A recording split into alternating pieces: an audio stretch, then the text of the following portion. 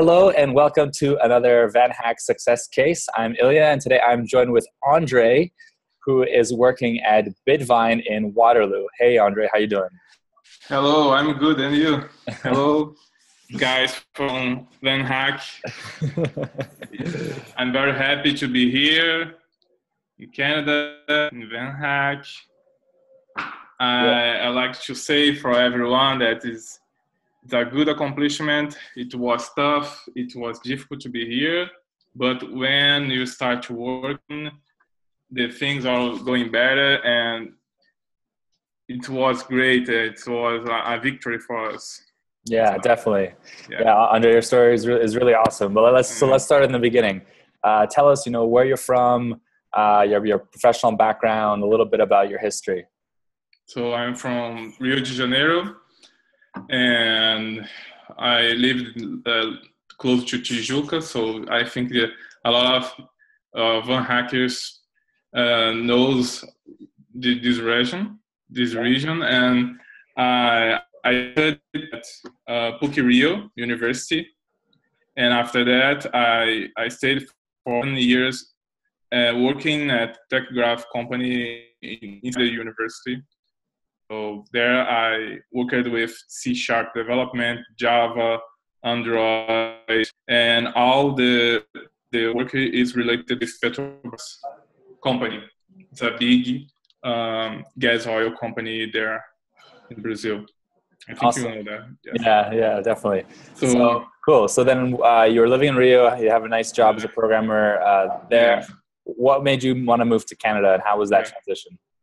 My my life was it was it was great uh, great and uh, my salary was good. Everything for for who lives in Rio de Janeiro my life is good. But I I'm seeking for something more in my in my life because um, I didn't like the what everyone uh, say uh, the violence and the traffic every day for work and home um, all days the same stuff. And i didn't see my professional skills improving. My my working is not uh, because you start to entering crisis. So a lot are uh, losing your jobs. So i think it was a great time to start to uh, move to, to another um, challenge in my life. Awesome, awesome. So, how, how did you how did you decide to do that? How much time did you spend researching, and particularly, why did you choose Waterloo uh, as a destination? Yeah, yeah for, I started to to to search about um, Canada about one year and a half, two years, two years now, mm-hmm. and start YouTube and see a lot of channels related with Canada, Brazilians there. Mm-hmm and a lot of study about immigration, about express entry, how to be here um, before I get a permanent resident, permanent residence. So my wife needs to study and me to work. And after this time, we, we, we our first main um, plan is selling. So we we to be here, you need to have a lot of money because when you convert reais to to dollars, Canadian dollars, you lose a lot of money. So it was the most difficult thing.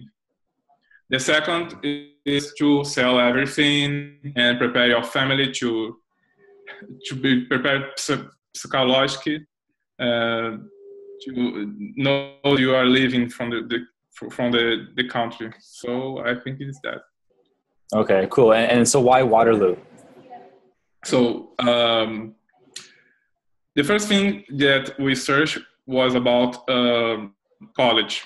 So if I pay for college, I will spend uh, fifteen dollar, fifteen thousand dollars per term. I think already, I think it's fifteen thousand dollars per per term.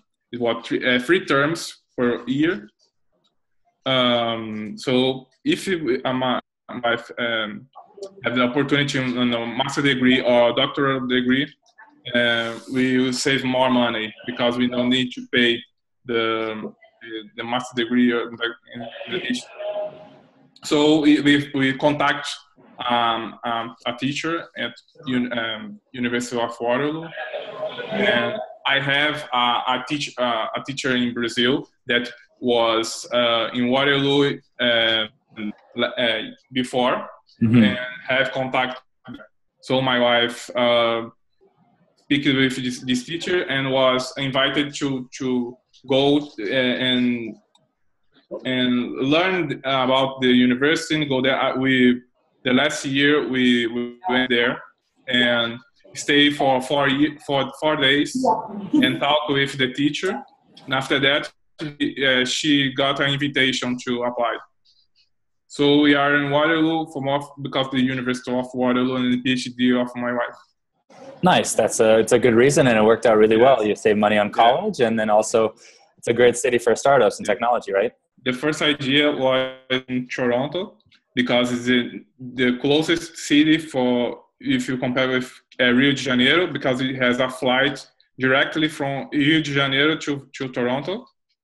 But the problems is the, the snow and the difficulty with the winter. I know that Vancouver is a, a place too, but yeah. uh, it's more difficult to get two flights to Rio, uh, Vancouver, Toronto, Toronto, Toronto, Rio de Janeiro. So, and, and we have a, a friend that already uh, is living in, in Toronto. So we have the, uh, a place to stay. Mm-hmm. But Waterloo uh, uh, a better option for, for us. Cool, cool, awesome. So that, that that's a great it's a great city for anyone watching here never heard of it. Google Waterloo, Kitchener Waterloo. It's a amazing place for technology companies, right? Yeah. It's another thing is the Waterloo is a farm city, mm-hmm. and, and a farm city with a big university, and the university attract the, the startups and companies, uh, technology companies. So uh, it's happened because we, we have a lot of opportunities with technology here in Waterloo. Definitely awesome. So let's get to it. You you got a job at one of those technology companies. Tell me how did that work? How did the process of getting a job work? Um, you know, what was your interview process like? How did you apply? Everything like that. I searched and at websites like that uh, Waterloo Tech Jobs, Indeed, Monster.ca, and uh, I uh, more two websites, and I think I tried through 35 jobs opportunities like that. Mm-hmm. 35 opportunities. I received uh, 11 or 12 response back, and I was in seven interviews, I think, personal interviews. Mm-hmm. Okay, and so what about the one that that hired you? How was that one? That one uh, started first uh, with um, technical interview. I think the the most important thing is the technical interview. Mm. So it was uh, related with algorithms, and two questions, and after that I I I talked with the the manager, and the manager liked me, and if in after one week he invited me to, to work there. Nice. Awesome. Uh, but, any questions they ask you that was that were interesting? Any, any uh, all the interview was very different so some some interviews if it's web related like front end development uh, they ask you to do a little a little um, work a little task a, a challenge to the uh, to give you from the internet mm-hmm. uh, like uh, do a notebook, a notebook using Ember and Node.js and publishing in Heroku, and you have four days to do that.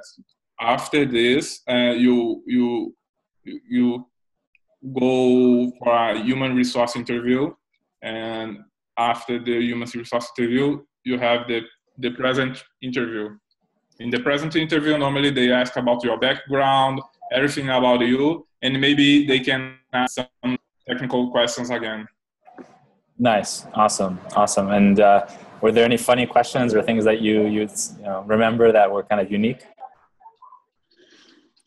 For me, the most difficult question is um, when the guy asks you three, four questions, normal questions, and the the, the last question they, they need to uh, they ask something like um, do you have any other question for us do you know uh, relate uh, like uh, do question for me they they ask me. Yeah. And this was the, the most difficult questions. It, like uh, i'm not sure that i will hire you so i'm i'm in doubt. So i need to talk more about mm what your interest in this company or something like that. Yeah, when when, when they ask you to ask them questions, the kind of reverse question. yeah, uh, so I, I answered uh, like how how is your day? Uh, how how work your day, the daily, and about what what do you do at your day or something like that related cool. with this. But cool. nice, nice I have difficulty with these kinds of questions. Yeah, definitely. It's always hard to think of something at the you know on the spot.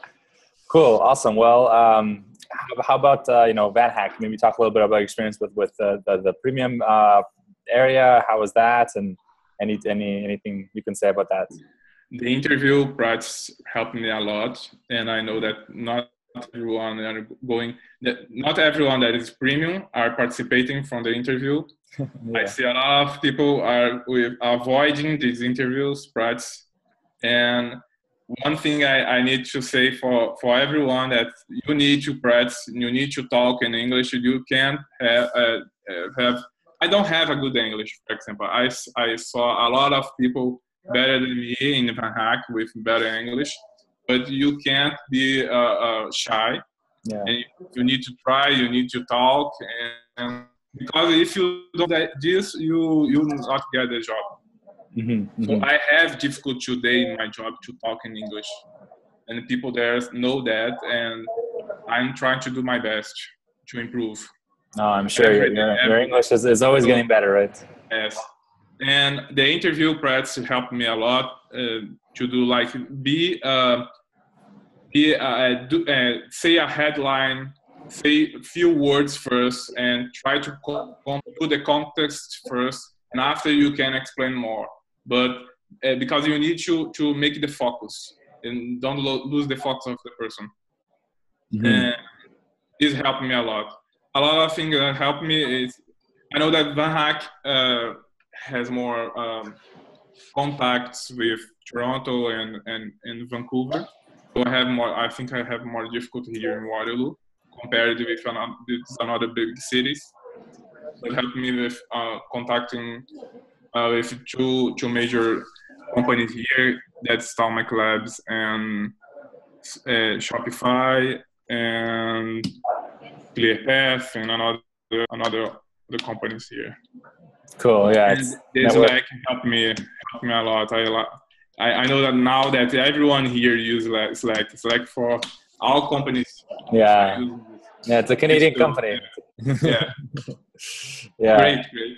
Awesome, awesome, Andre. So this has been really, really great. You've shared so much great information with people. Uh, congrats on your new job as an Android developer, right at Bitvine, and um, I wish you all the best. Hopefully, we can meet one day when I go out to to to, to Waterloo, and, and uh, we can have a, mm-hmm. have a, coffee and chat more. So, congratulations one more time, and uh, yeah, good good luck. Actually, I, I, should ask you quickly. It's been one week since you've been working. How is that going? Are you enjoying? It's tough. How, how is that? it's tough uh, because I was hired for do Android development, mm-hmm. and I'm now I'm starting uh, with front end development using Ember and Ember and CoffeeScript. Nice. So I, I don't, uh, I'm learning now this, so it was difficult for understand, but I'm I mean I did already two two tasks the day. I started my first day with a, a sprint, a sprint review, sprint planning, daily meeting. So it was very difficult to understand the nature of the company in the first week. But I, I think that the second week will be better. It will be better than the first one. Awesome. Well, that's good. That's how we learn fast. So congrats on yeah. that. That's, that's very exciting. Great stuff, Andre. Uh, congrats again, and uh, yeah, all the best in this new position and your new new stage in life. And more one thing that you helped me a lot. You have um, always that I send you a message, you you answer. So thank you for you reply fast as soon as possible. always your presence is important for everyone. Uh, hey, it's it's it's my pleasure. It's my pleasure. Even you know Friday night, 11 p.m. It's yeah. no, no, no, matter what. it's, it's it's it's it's what I love to do. So very important. Happy to help. Yeah. Awesome. Cool, Andre. Well, congrats again, and yeah, we'll we'll talk in Slack. Thank you. Right. Have a great day. Bye.